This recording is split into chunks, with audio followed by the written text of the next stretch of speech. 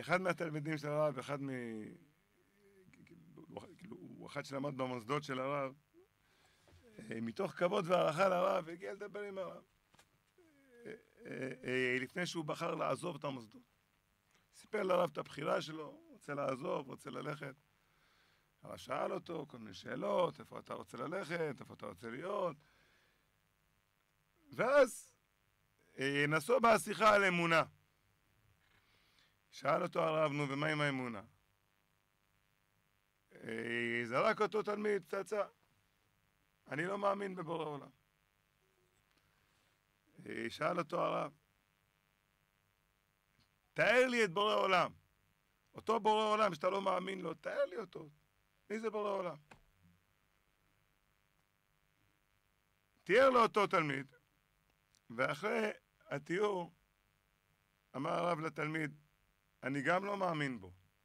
אותו בורא עולם שהוא פרי הדמיון שלך, אני גם לא מאמין בבורא עולם הזה, אני גם כופר בבורא עולם הזה, זה לא הבורא עולם בכלל.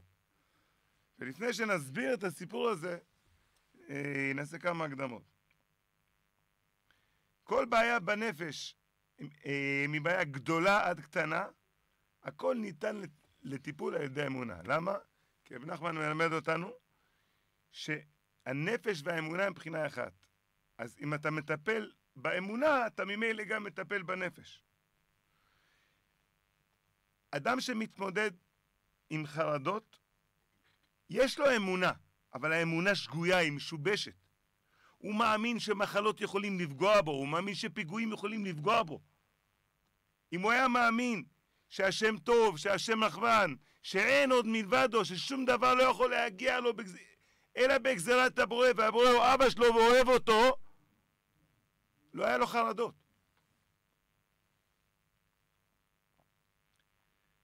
יוצא שהחרדה זה לא בעיית נפש, אלא זה בעיית אמונה, וממילא הטיפול, שאתה רוצה לטפל בחרדות, אתה צריך לטפל באמונה, להחליף את האמונה המשובשת באמונה אמיתית, באמונה מחיה. בדור שלנו כולנו אה, מתמודדי נפש. למרות הלחץ והחרדה, העצבות והכעס והקנאה מרקיעות שחקים. וגם מי שצריך טיפול, הטיפול סך הכל מרגיע את הסממנים החיצוניים, הוא לא מטפל בשורש של הבעיה. כל מה שעושים לצורך בריאות הנפש זה מצוין, כל הטיפולים, כל הדברים, הכל טוב. אבל רק האמונה מטפלת בשורש. כל בעיית נפש פירושה אמונה שגויה. כל מחלת נפש זה סוג של כפירה. זה לא אומר שאתה כופר, זה לא אומר שאנחנו... זה, זו, אבל זה התפקיד שלנו בעולם הזה. לזכות לאמונה שלמה, זה היצר הכי גדול שיש, אנחנו לא אשמים, זה המלחמה הכי גדולה שיש לזכות לאמונה שלמה. העולם שלנו נקרא עולם מלשון העלם. למה? כי הוא מעלים את מציאותו של הבורא. והתפקיד שלנו זה לגלות את המציאות הזאת בתוך ההלם הזה. וואלה שיחיה מלמד בגן האמונה שכעס זה, כפיר... אה, שכעס זה כפירה, האשמה העצמית זה כפירה, עצבות זה שיא השיאים של הכפירה. וממילא יוצא שהדרך של בן אדם להשלים את עצמו, להגיע לחיים הטובים, זה, זה, זה, זה, לקנות אמונה.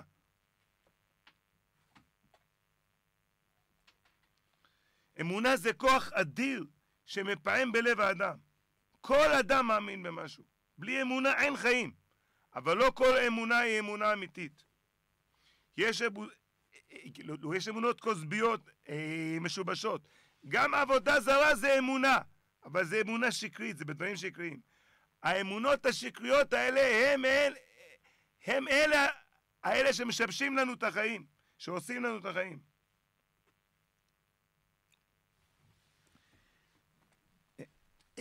אמונה אמיתית, אמיתית זה להאמין באמת. לכן על פי הקבלה, אמת ואמונה הולכים ביחד. ולא לחינם בברכות כי יש אנחנו אומרים אמת ואמונה ביחד. אמונה שאין בה אמת זה לא האמונה שמביאה לידי שמחת חיים. אמת יש רק אחת, וממילא גם אמונה אמיתית יש רק אחת. אה, בזוהר הקדוש כתוב שתכלית האדם והבריאה זה להכיר ולדעת את הבורא. אם אדם לא מכיר את הבורא יתברך, איך הוא יגיע לאמונה? איך, איך אדם יכול להאמין במשהו שהוא לא מכיר אותו? דע את אלוקי אביך ועובדהו. קודם כל אתה צריך לדעת, ואז אתה יכול לעבוד, ואז אתה יכול להאמין. אם אתה לא יודע מי זה בורא עולם, איך תאמין בו? במה אתה מאמין? אם אתה יושב ליד מישהו באוטובוס, כאילו, ואתה לא מכיר אותו, גם אם תשב לידו עשר שעות, אתה לא תכיר אותו. אתה לא תתחבר אליו. זה אותו דבר בקשר עם הבורא. רק היכרות עם הבורא יוצרת את הקשר. להכיר את הבורא אומר לדעת מי הוא ומה הוא באמת, מה הרצונות שלו, אה, מה המידות שלו. רק מתי שאדם יודע, הוא מכיר את מידותיו של הבורא, הוא בדרך לרפואת הנפש.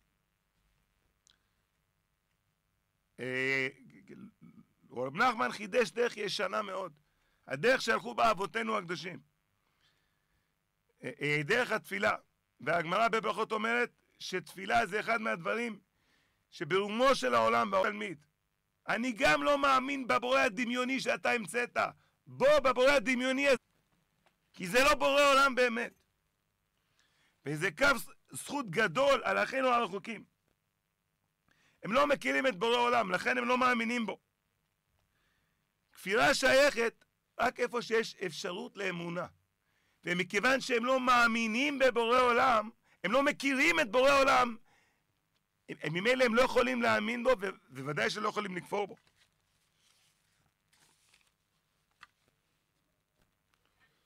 כל אחד רוצה שילדים שלו, כל אחד רוצה שיהיה לילדים שלו רק טוב, הכי טוב, ועוד יותר טוב. הבורא אוהב אותנו לא פחות ממה שאנחנו אוהבים את הילדים שלנו. הבורא הוא הטוב, ודרך הטוב להיטיב. הבורא הוא אבא טוב ורחמן שרוצה רק טוב לילדים שלו, הוא כל יכול. מאיפה מגיעה האהבה שאנחנו אוהבים את הילדים שלנו? זה טבעי, איך לא עבדנו על זה לא כלום. אה, אה, מאיפה זה מגיע?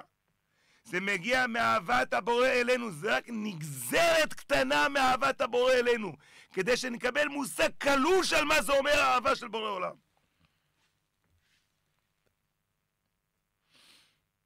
הרבה חושבים שהסבל הפיזי והנפשי זה גזירת הגורל, וממילא העושר והחירות שלנו לא תלויים בנו. אסור לחשוב ככה, זה שקר. הסבל לא בא מהבורא, אנחנו עושים את זה לעצמנו. זה הבחירה שלנו, זה החלטה שלנו, זה בידיים שלנו, וזה לא נקודה לייאוש, ההפך, זה תקווה עצומה.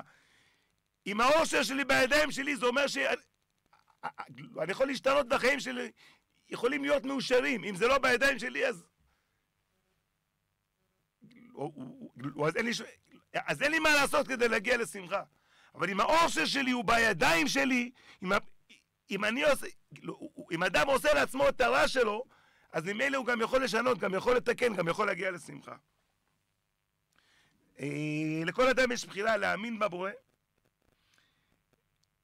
ולחיות חיים אמיתי, אמיתיים מלאי שמחה, או חס וחלילה לא להאמין ולהמשיך לסבול. כל סוג של סבל אנחנו עושים לעצמנו, בחוסר אמונה שלנו.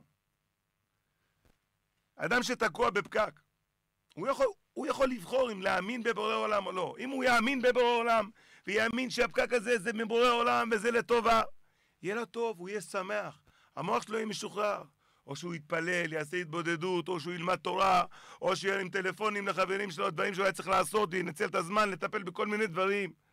אבל אדם שלא מאמין שזה לטובה, הוא מתמלא בכעס, מתמלא בעצבים, וכל היום שלו הולך, נהרס. מי הרס את היום? בורא עולם, כאילו הוא עשה את הפקק לטובה. אותו בן אדם שבחר לא לקבל את הפקק הזה באמונה, הוא הרס לעצמו את היום. וככה זה בכל הדברים שאדם עובר, הבעיות שאדם עובר עם הילדים שלו, עם אשתו. אם אדם ידע שזה לטובה, לא יהיה לו קשה, זה טובה, מה קשה? הכל טוב, יהיה לו ערך רוח, יהיה לו סבלנות. יהיה לו סבלנות, אבל אם אדם כופר בבורא עולם, הבעיות, זה, זה נהיה כדור של שלג שמתגלגל והולך ומתנפח. כל סוג של סבל, עצבות, חרדות, נקמה, האשמה עצמית, כעס. כל התיקים שאנחנו סוחבים על הכתפיים שלנו. הכל אפשר לשנות על ידי שנכיר את הבורא ונאמין בו באמת. המאמין תמיד שמח, בלי טיפת עצבות, בלי חרדות, אופטימי, מאמין בעצמו, אה, אה, מוכן לקום ולהתחיל מחדש. אין לו כעס, לא על עצמו ולא על הזולת, אין לו קינה, פשוט בריא בנפשו בשלמות. אנשים אומרים, יש לי אמונה, אני מדבר עם בורא עולם, אבל אני מפחד. מי שמאמין לא מפחד. מי שמאמין לא מפחד. אם אתה מאשים מישהו או משהו, אם אתה מאשים מישהו או משהו בצער שלך, ודאי שאין לך אמונה. אבל גם אדם שלא מאשים אף אחד בצער שלו, אלא יודע, זה חוסר אמונה. הצער נובע מחוסר אמונה, אני צריך פשוט להתחזק, אה, אה, אה, להתחזק באמונה. גם זה טעות. כי זו הגדרה מעורפלת. צריך להגדיר במדויק. אם יש לבן אדם צער מכל סוג שהוא, אין לך שמחה בשלמות, זה כפירה. מאיר חודש, וכמדומני גם החזון איש, היו אומרים שאין באמצע, יש או אהבה או שנאה. אדם לא יכול להגיד, אני לא אוהב אותו ואני לא שונא אותו, אני באמצע, אין כזה דבר. ואותו דבר פה באמונה, אין באמצע. או אמונה מאה אחוז או כפירה. אדם שהוא מאמין ב-90 אחוז ויש לו קצת עצבות, זה כפירה. וזה מאוד חשוב שאדם יגדיר את זה בצורה חדה כזאת. כי רק הידיעה הזאת, שגם ה-10 אחוז של כפירה זה נחשב כפירה, רק זה נותן לבן אדם את הכוח להילחם על האמונה שלו בחירוף נפש. ורק זה מוביל את הבן אדם לאמונה שלמה.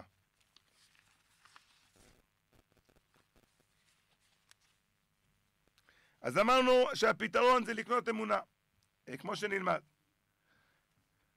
אמונה, ואמרנו שהאמונה צריכה להיות אמיתית, צריך להכיר את הבורא. צריך להאמין שהוא תמיד אוהב אותך ותמיד יהיה לך רק טוב, ועוד יותר טוב ועוד יותר טוב. רק חיזוק באמונה, תוך כדי הכרה הזו שהוא תמיד אוהב אותנו, רק זה יוביל לרפואת הנפש. צריך לזכור את זה בכל מיני הזדמנויות ולהזכיר את זה לעצמנו. השם אוהב אותנו לפחות כמו שאנחנו אוהבים את הילדים שלנו. השם רוצה שיהיה לנו רק טוב לפחות כמו שאנחנו רוצים אה, שיהיה לילדים שלנו. שם הוא אבא לא פחות טוב מאיתנו, לא יותר גרוע, הרבה הרבה הרבה יותר טוב, הטוב המושלם. וכמו שאדם לא יכול להאמין בבורא עולם אם הוא לא מכיר אותו, כך אדם לא יכול להאמין בעצמו אם הוא לא מכיר את עצמו. אם אדם חושב על עצמו דברים רעים, אדם חושב שהוא רע או שיש לו רצונות רעים, איך הוא יאמין בעצמו? להאמין בעצמו זה אומר להאמין בטוב שיש לו. לכל אחד יש נשמה אלוקית, חלק אלוקה ממעל. באנו לעולם הזה לגלות את כבוד, את כבוד השם שנמצא בתוכנו. הפנימיות שלנו והמהות שלנו קדושה וטהורה. להאמין בהשם באמונה שלמה זה להאמין בחלק האלוקי שנמצא בתוכך. זה לא חוכמה להאמין בחלק האלוקי שנמצא בתוך רב חיים קניאבסקי, בתוך מרן הרב עובדיה. שהיה מאוד קל לראות את בורא עולם. החוכמה היא לראות את בורא עולם בתוכך. רק מתי שאתה יודע שאתה טוב, אתה יכול להאמין בעצמך. צריך לזכור מי זה האני האמיתי ולהאמין בו. היצר הרע מציג אותנו כרעים ולא שווים, ורוצה לקחת לנו את האמונה בעצמנו. וכשהאמונה בעצמנו מרוסקת, זה מביא שורה ארוכה של מחלות נפש. שנאה עצמית, רדיפה עצמית, ואיבוד הביטחון עצמי. מחלות נפש זה מחלות אמונה, וכשאדם מאמין בעצמו הוא מתרפא. בכל בוקר אנחנו אומרים, אלוקיי נשמה שנתת בי טהורה. גם הפושע הכי גדול בהיסטוריה, אם הוא יהודי, יכול לקום בבוקר ולהגיד, אלוקיי, נשמה שנתת בי טהורה. וצריך לדעת את זה בוודאות גמורה. ולמה זה ככה? כי אנחנו, מי זה אנחנו? זה הנשמה. זה האמת, המהות שלנו זה רק טוב. כשאדם נכשל, היצר הרע משתמש בזה להגיד לו שהוא רע. זה טעות. זה שאדם עדיין עושה רע לא אומר שהוא רע. זה לא המהות, הרע זה לא המהות, המהות של האדם זה כולו טוב. ולכן זה הסיבה שבורא עולם תמיד אוהב אותנו. בורא עולם לא יכול לאהוב רע. לא יהיה גורך רע. בורא עולם אוהב אותנו כי המהות שלנו טובה, כי אנחנו טובים. הנשמה טהורה. אין שום דבר בעולם שיכול לטמא את הנשמה. אה, כאילו, וככה מסביר רבנו הקדוש על הפסוק לא הביט אבין ביעקב לא ראה מעל בישראל. השם לא רואה את הרע, רק את הטוב, ולכאורה לא מובן. מה זה השם רואה רק את הטוב? אבל על פי מה שאנחנו מסבירים, זה בדיוק ככה. כי הרע זה חיצוני ולא קשור, הטוב זה המהות שלך, ממילא ברור העולם שמסתכל עליך, הוא רואה אותך, רואה את המהות שלך, לא את הדברים שמסביבך. אותו רשע שדיברנו עליו, שקם בבוקר ואמר אלוקיי בשמה, אלוקיי נשמה. בהמשך התפילה הוא אומר, אהבת עולם אהבתנו. והסיבה היא כי בורא עולם יודע שה, שהרע זה לא הוא, זה חיצוני, זה חיצוני ולא קשור. הבורא רואה רק את הפנימיות, וממילא זה הסיבה שהוא אוהב אותנו. אנחנו רוצים להתפלל, שנאהב את עצמנו כמו שבורא עולם אוהב אותנו, שנעריך את עצמנו כמו שבורא עולם מעריך אותנו, שלא נסתכל על הרע שלנו כמו שהוא לא מסתכל על הרע שלנו. ויש פה מכתב שהרב כתב, שזה בעצם מי שמאמין באמונה שלמה, זה מה שבורא עולם אומר לו כל רגע. בני היקר, בתי היקרה, אני מתפאר בך ושמח בך ורוצה רק להיטיב איתך עוד ועוד. אני מרוצה ממך כמו שאתה לעת עתה. ואף על פי שאני יודע שיש לך הרבה מאוד מה לתקן ולאן להתקדם, אני מרוצה ממך ושמח בך מאוד. הרי אני אוהב אותך באמת, אז למה אתה לא אוהב את עצמך? הרי אני אוהב, אני שמח בך באמת, אז למה אתה לא שמח בעצמך? הרי אני מתפאר בך, אז למה אתה לא רואה את הפאר והיופי והחן והטוב שיש בך? הרי אני ממתין לך ולא דוחק בך. אז למה אתה רודף את עצמך ומלחיץ את עצמך? אני מאמין בך, למה אתה לא מאמין בעצמך? דע לך שאני בראתי אותך טוב, אני יודע שאתה טוב. ואני מאמין בטוב שבך, וגם אתה תאמין בטוב של עצמך. תאמין באהבה שאני אוהב אותך, שלך אביך שבשמיים. אדם שמאמין בבורא עולם, מאמין בזה, אמונה ישרה ואמיתית קדושה, אומר שבורא עולם זה מה שאומר לך בכל רגע ורגע. איך זוכים לזה? צריך להחליף דיסק במוח ובלב. והכלי לעשות את זה זה הדיבור. לדיבור שלנו יש כוח עצום. אנחנו נזהרים מאוד מאוד שלא להוציא מילים לא טובות מהפה, כי לדיבור יש כוח ליצור מציאות. הקשר עם בני אדם, הקשר, הקשר בין איש לאשתו, הכל נבנה על ידי הדיבור. לדיבור שלנו יש כוח לבנות או להרוס את האדם. או את העולם. זה הכלי הגדול ביותר שיש לנו, ולכן האדם נקרא מדבר. בתהילים פרק קט"ז דוד המלך מתאר מציאות של פחד קשה מאוד. עפפוני חבלי מוות ומצרי שאול מציאוני. צרה ויגון אמצא. איך מחזיקים באמונה במצב כל כך קשה? איך רואים את אהבת הבורא במצבים כאלה בלתי אפשריים? אז דוד המלך עונה בעצמו, האמנתי כי אדבר. למה אני מאמין? כי אני מדבר. דיבורי אמונה מגלים את האמונה. הדיבור נותן כוח לאמונה, מחיה את האמונה ומחזיר אותנו לאמונה. על ידי הדיבור זוכים לאמונה, ובזכות האמונה יש ישועה אמיתית. כמו שכתוב בתהילים, הודיע אמונתך בפי. למה אני מאמין בך? כי אני מודיע את האמונה שלך בפה שלי. גם כשהלב שלי לא נמצא שם, גם, גם כשהלב שלי בחרדות, אני מדבר דיבורי אמונה. אני מדבר מאיפה אני צריך להיות ואני לא נמצא. ולכן אני באמת נהיה שם.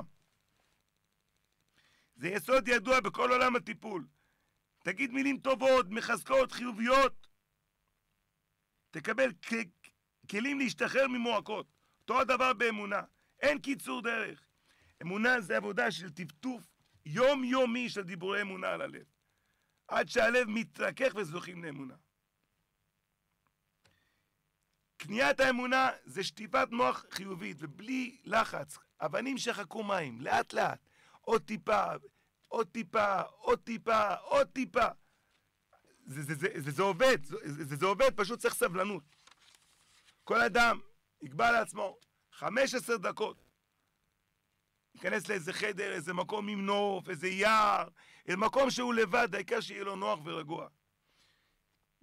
אה, בלי טלפונים, להשתחרר, מי שרוצה לשים לעצמו מוזיקת רקע בלי מילים יכול.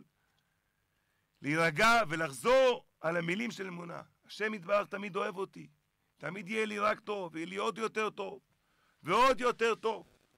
הוא אוהב אותי כמו שאני אוהב את הילדים שלי, והרבה יותר מזה. הוא רוצה טוב בשבילי כמו שאני רוצה בשביל הילדים שלי, והרבה יותר, והרבה יותר מזה. לא חייב לחזור בדיוק על המילים, רק מילים באותו הרוח. כל יום בקביעות, 15 דקות, כל יום. זה מטפטף דיבורי אמונה, זה עובד. ובנוסף, כל פעם שאדם מגיש שהוא, בבל... שהוא בבלבולי אמונה, שיחזור על המילים, השם יתברך תמיד אוהב אותי, תמיד יהיה לי רק טוב, ויהיה לי עוד יותר טוב, ויהיה לי עוד יותר טוב. וכמו שהדיבור זה הכלי החזק ביותר לאמונה בבורא עולם, ככה גם לגבי האמונה בעצ... בעצמך. תגיד לעצמך, מי אני? אני לא הגוף, אני הנשמה. הנשמה שלי טהורה, לכן אני יודע שאני טוב. אני רוצה רק טוב, המהות שלי רק טוב. גם אחרי כישלון, במקום לרדוף את עצמך ולחשוב שהשם כבר לא אוהב אותך, תמסור בפה, תגיד, זה לא המהות שלי, אני לא רוצה את זה, אני רוצה לחזור בתשובה, השם אוהב אותי ורוצה לעזור לי. זה ייתן לך כוח לחזור בתשובה. רבנו הקדוש אומר, אל תיכנס עם פיתוייך בטוען וניתן. אה, ולכן לא צריך להתווכח עם המחשבות האלה, ולא לגרש אותן בכוח, רק לטפטף בסבלנות. תן למחשבות, עזוב אותן בצד. טפטף לאט לאט דיבורי אמונה, עוד מילה של אמונה. גם אם אתה לא שם, לאט לאט אתה תהיה יותר קרוב לשם ויותר קרוב לשם. זה כלי חזק מאוד, ובפרט ברוחניות. כל, כל אדם שיש לו ניסיון ברוחניות, אפשר לקחת את זה לרוחניות. אדם שיש לו ניסיון בשמיעת העיניים. שמטבח תמיד אוהב אותי, תמיד יהיה לי רק טוב, תמיד אזכה ללכת בעיניים עצומות. אדם שיש לו ניסיון בכעס, הוא יודע שהוא הולך לחזור הביתה והולך להיות לניסיון, יגיד, השם יתברך תמיד אוהב אותי, ותמיד יהיה לי אמונה שלמה ודעת שלם, ויהיה לי עוד יותר אמונה, ועוד יותר סבלנות, ועוד יותר אמונה, ועוד יותר סבלנות. ויחזור על זה עוד פעם ועוד פעם ועוד פעם, ויראה שמקומות שהרבה הרבה זמן הוא ניסה להחזיק בהם, דווקא על ידי האמונה הזאת הוא יגיע לשם. כאילו הרב לימד אותנו שיהודי צריך שיהיה לו עבודת הרצון. חצי שעה כל יום שהוא בוחר על מידה, שהוא מתפלל על זה, וגם אומר תודה, וגם מתפלל, מבקש, אומר תודה על העבר, וצועק על העתיד. הנה היום יש לנו כלי חדש. כל אדם ייקח את עבודת השם שלו, אם אדם עובד על ביטול מידת הכעס, השם יתברך תמיד אוהב אותי, תמיד יהיה לי רק טוב, אני אזכה לבטל את מידת הכעס בשלמות, ותמיד יהיה לי אמונה שלמה ודת שלם. ויראה שעל הדרך הזאתי, של האמנתי כי אדבר, יש לה כוח עצום, גם אדם שמתפלל על עם ישראל. פתאום נכנס לו חרדות, על עם ישראל, מה יהיה עם עם ישראל, וואי. השם יתברך תמיד אוהב את עם ישראל, תמיד יהיה, אה, תמיד יהיה להם רק טוב. ועיקר העבודה פה זה הסבלנות. לטפטף את הדיבורים ובלי לחץ, להסתכל מעבר לציבור, מה יקרה טוב, נו איפה האמונה שלי? לא. אתה תעשה את העבודה שלך ותן לבורא העולם אה, לעשות את העבודה שלו. ברוך ה' לעולם, אמן ואמן.